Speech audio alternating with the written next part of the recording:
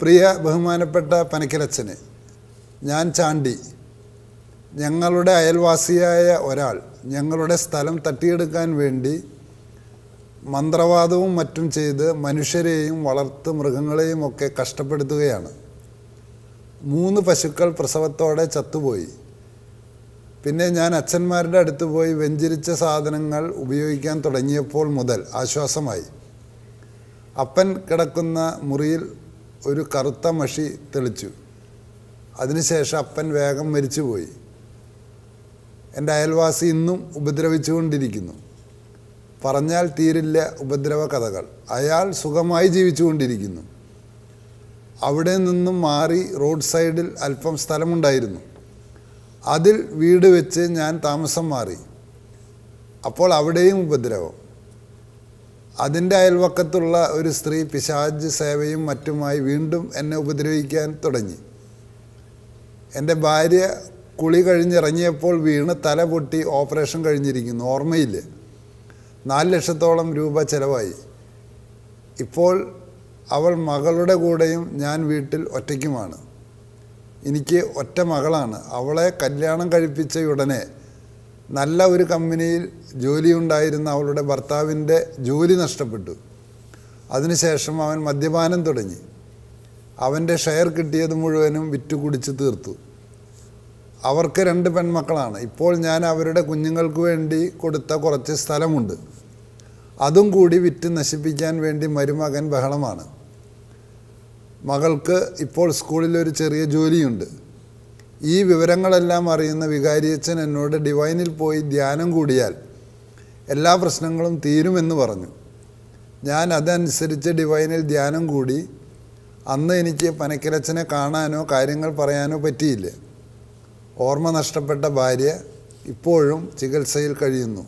മരുമകന്റെ മദ്യപാനം പൈശാചിക ഉപദ്രവങ്ങൾ ഇതെല്ലാം കൊണ്ട് പിടിച്ചു നിൽക്കാൻ വയ്യാത്ത അവസ്ഥയിലാണ് ഞാൻ. അച്ഛൻ ടി വിയിലൂടെ എനിക്കൊരു മറുപടി തന്ന് സഹായിക്കുമോ? ടി വിയിലെ പരിപാടി കണ്ടിട്ടാണ് ഞാൻ അച്ഛന് ഇങ്ങനെ ഒരു കത്തെഴുതാൻ തീരുമാനിച്ചത് എന്ന് ചാണ്ടി ആര്യങ്കാവ്. നമ്മളിപ്പോൾ വായിച്ചു കേട്ട ഈ കത്തിൽ ചാണ്ടി എന്ന സഹോദരന്റെ മാനസിക വിഷമതകളാണ് നമ്മൾ കാണുന്നത്. ഈ ചാണ്ടി എന്ന സഹോദരൻ ഒരു വല്ലാത്ത മാനസിക വിഷമത്തിൽ കഴിയുകയാണ്. കാരണം അദ്ദേഹത്തിന്റെ ചിന്തകളെല്ലാം തന്നെ അദ്ദേഹത്തിന് വീട്ടിൽ എന്തെല്ലാം സംഭവിക്കുന്നുണ്ടോ അതെല്ലാം ഒരു പൈശാചികമായ പ്രവൃത്തിയുടെ ഫലമാണ് എന്ന് വിചാരിച്ചുകൊണ്ടിരിക്കുകയാണ്. അവിടെ പശു എത്തു പോകുന്നത്. ഇനി ആർക്കെങ്കിലും ജലദോഷം വന്നാൽ അതും ആരൊക്കെയോ എന്തൊക്കെയോ സാത്താനെ എന്റെ വീട്ടിലേക്ക് വിട്ട് എന്നെ ഇങ്ങനെ ഉപദ്രവിച്ചുകൊണ്ടിരിക്കുകയാണെന്നുള്ള ഒരു ചിന്തയിലാണ് ചാണ്ടി കഴിയുന്നത്. അപ്പോൾ ചാണ്ടിയുടെ ഒന്നാമതായിട്ട് പറയാനുള്ളത് ബൈബിളിൽ ഒരു വചനമുണ്ട്. എഫ് എസ് എസുകാർക്ക് നാലാം അധ്യായത്തിൽ ഇരുപത്തി ആറോ ഇരുപത്തിയേഴോ വചനത്തിൽ വാക്യത്തിൽ നമ്മളിങ്ങനെ കാണുകയാണ് നീ കോപിച്ചു കൊള്ളുക നിന്റെ കോപം സൂര്യൻ അസ്തമിക്കുന്നവരെ നീണ്ടു പോകരുത്. എന്നിട്ട് പറയാണ് സാത്താന് നീ ഇടം കൊടുക്കരുത്. അപ്പോൾ ഇവിടെ നമ്മൾ ശ്രദ്ധിച്ച് ഈ ഭാഗം വായിച്ചാൽ കാണാൻ സാധിക്കും. അയൽവാസിയുമായിട്ടുള്ള വസ്തുവുമായിട്ട് ബന്ധപ്പെട്ട് ചെറിയ എന്തോ വിഷമങ്ങളുണ്ടായി. പക്ഷേ കർത്താവ് പറയാണ് നീ കോപിച്ചു. പക്ഷേ ആ കോപം വെച്ചുകൊണ്ടിരുന്നു കഴിഞ്ഞാൽ അത് വൈരാഗ്യമാകും പ്രതികാര ചിന്തയാകും വെറുപ്പാകും. വെറുപ്പായി കഴിഞ്ഞാൽ സാത്താൻ നമ്മുടെ ഉള്ളിൽ പ്രവേശിക്കും. അപ്പോൾ ഈ അയൽവാസിയുമായിട്ടുള്ള ഈ ഈ ബന്ധ തകർച്ച ആ ബന്ധ തകർച്ച വഴി സാത്താൻ ചാണ്ടിയുടെ കുടു കുടുംബത്തിൽ പ്രവേശിച്ചിട്ടുണ്ട്. അത് വൈരാഗ്യത്തിന്റെ വെറുപ്പിന്റെ പൈശാശക്തിയാണ്. ആ പൈശാശക്തി പ്രവേശിച്ചു കഴിഞ്ഞാൽ പിന്നെ ചാടിയിലുണ്ടായിട്ടുള്ളത് ഭയമാണ്. ആ ഭയം ഉള്ളിലിങ്ങനെ കിടക്കുകയാണ്. എന്ത് സംഭവിച്ചാലും എന്റെ അയൽവാസി സാത്താനെ പൈശാചിക സേവ സേവ വഴി എന്നെ ഇങ്ങനെ ഉദ്രവിച്ചുകൊണ്ടിരിക്കുന്നു അവരെന്നെ ദ്രോഹിച്ചുകൊണ്ടിരിക്കുന്നു എന്നെ നശിപ്പിച്ചുകൊണ്ടിരിക്കുന്നു എന്ന ചിന്തയാണ്. അപ്പോൾ ഈ ചിന്ത ചാണ്ടയിൽ ഇത്രയും രൂഢമൂലാകാനുള്ള കാരണം ഇത് ഉള്ളിൽ കിടക്കുന്ന വെറുപ്പും വൈരാഗ്യവുമാണ്. അതായത് ചാണ്ടിക്ക് അയൽവാസിയായിട്ട് വിദ്വേഷമുണ്ട് അത് വെറുപ്പായി മാറുന്നു. ആ വെറുപ്പിലൂടെ ഭയം വരുന്നു.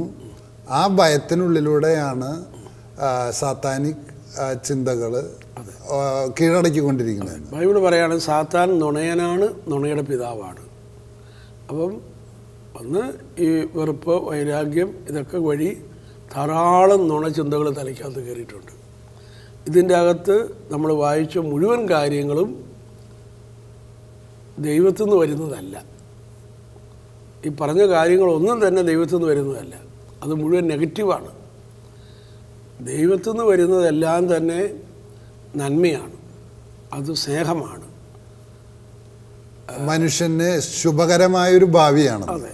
ശുഭകരമായ ഭാവിയും പ്രത്യാശ അതറിയല്ല ദൈവത്തിന്റെ സ്വഭാവം തന്നെ സ്നേഹം സന്തോഷം ദയ നന്മ. വിശ്വസ്തത ഇതെല്ലാമാണ് അപ്പോൾ അതിനൊക്കെ എതിരായിട്ടുള്ള കാര്യങ്ങളാണ് ചാണ്ടിയുടെ മനസ്സിൽ ഇങ്ങനെ ഉണ്ടാകുന്നത്. ആ മനസ്സിൽ കാണുന്നതാണ് ഇവിടെ എഴുതി നമുക്ക് തന്നിരിക്കുന്നത്.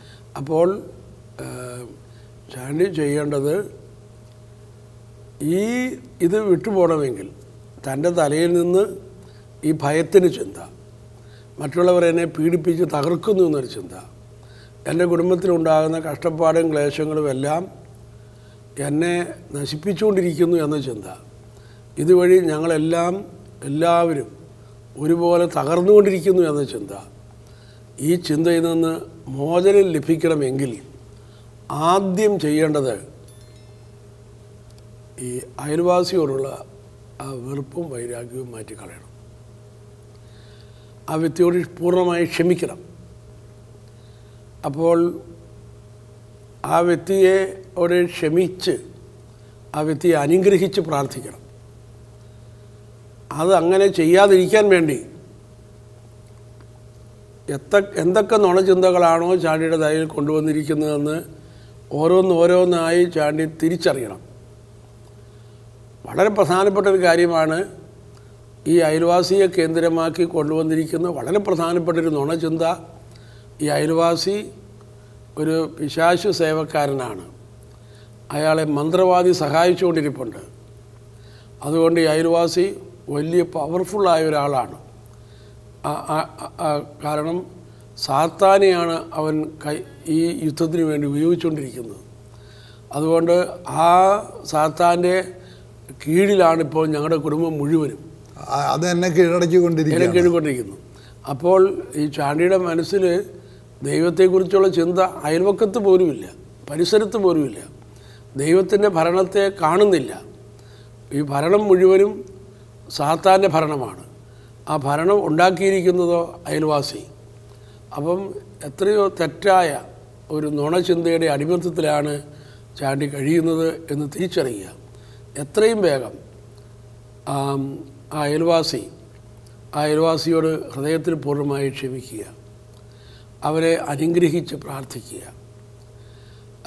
അവനെ അങ്ങനെ അനുഗ്രഹിച്ച് പ്രാർത്ഥിക്കുമ്പോൾ ചാണ്ടി ദൈവത്തിന്റെ കീഴിലേക്ക് വരികയാണ്. ദൈവത്തിന്റെ കീഴിലേക്ക് വന്നു കഴിയുമ്പോൾ ദൈവത്തിന്റെ മുകളിൽ മറ്റൊന്നുമില്ല. ദൈവത്തിന്റെ കീഴിലേക്ക് വരുന്ന ഒരു വ്യക്തി തീർച്ചയായിട്ടും വിജയം അവകാശപ്പെടുന്ന ഒരു വ്യക്തിയാണ്. നമുക്കറിയാം ഒന്ന് യോഹന്നാൻ മൂന്ന് എട്ടിൽ നമ്മൾ വായിക്കുന്നു സാത്താന പ്രവർത്തികളെ നശിപ്പിക്കുന്നതിന് വേണ്ടിയിട്ടാണ് ദൈവപുത്രം വന്നിരിക്കുന്നത്. ദൈവത്തിൽ നിന്ന് ജനിച്ച ഒരുവനും ദൈവത്തു നിന്ന് ജനിച്ച ഏവനും ലോകത്തെ കീഴടക്കുന്നു. ലോകത്തിന് മേലുള്ള വിജയം ഇതാണ് നമ്മുടെ വിശ്വാസം. അപ്പം അതിനാൽ ദൈവത്തു നിന്ന് ജനിച്ച വ്യക്തി അവൻ ലോകത്തെ കീഴടക്കുന്നു. അപ്പോൾ ഈ യേശുവിനെ കർത്താവ് നാഥനുമായിട്ട് ചാണ്ടി സ്വീകരിക്കുമ്പോഴാണ് ക്രിസ്തുവിലുള്ള ജനനം നടക്കുന്നത്. അപ്പോൾ ക്രിസ്തുവിൽ ഞാൻ ജനിച്ചു കഴിയുമ്പോൾ ഇതെല്ലാം താനെ നീങ്ങിപ്പോകുന്നതാണ്. ഇത് പിന്നെ ക്രിസ്തു പ്രകാശം കടന്നു വരുമ്പോൾ ഇരുട്ട് പോകുന്നു ഇതുപോലെ യേശുവിനെ ആണ് ഞാൻ എങ്ങനെയാണ് സ്വീകരിക്കേണ്ടത് എന്ന് മനസ്സിലാക്കി ക്രിസ്തുവിനെ കർത്താവ് നാഥുരമായി സ്വീകരിക്കേണ്ടതിന് പകരം ഈ ചാണ്ടി ചിന്തിച്ചുകൊണ്ടിരിക്കുന്നത് എന്റെ അയൽവാസി സാത്താനെ കയ്യിലാക്കിക്കൊണ്ട് എന്നെ ഉപദ്രവിച്ചുകൊണ്ടിരിക്കുന്നു. ആദ്യമായിട്ട് ചാണ്ടി മനസ്സിലാക്കണം സാത്താൻ അനുസരണക്കേടിന്റെ ഒരു ശക്തിയാണ്. സാത്താൻ ഒരിക്കലും മനുഷ്യൻ പറയുന്നത് കേൾക്കുകയല്ല. അതുകൊണ്ട് ചാണ്ടിയുടെ അയൽവാസി പറയുന്നത് ചെകുത്താൻ കേട്ട് അയൽവാസിക്ക് വേണ്ടി ചെകുത്താൻ പ്രവർത്തിക്കുകയില്ല.